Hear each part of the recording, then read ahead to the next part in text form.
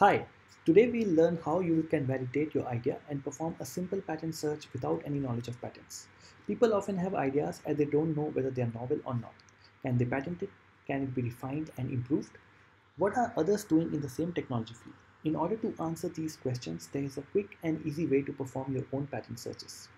Open espacenet.com, which is a free global patent database offered by the European Patent Office, and simply type away your technology phrase in the search box. I'll show you how that works. Suppose you are a researcher in the field of wind turbines. Simply type the words wind turbine and hit enter. You will see that the total number of hits is enormous, but the results are sorted by relevance. The most relevant results based on your search terms are shown on top.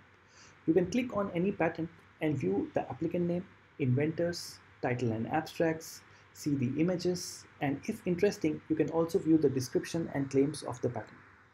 Now wind turbine is a very broad technology. Suppose you want to be more specific. Simply add objects and functions to your search query. If you are interested in wind turbine generators, simply add the word generator on your search query and you will see that the result sets significantly reduce. Again, your results are sorted based on the relevance of your search query.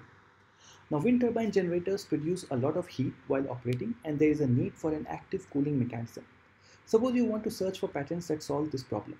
Simply add the word cooling to your search terms and hit enter. Watch how you, as you become more specific, the number of hits reduce.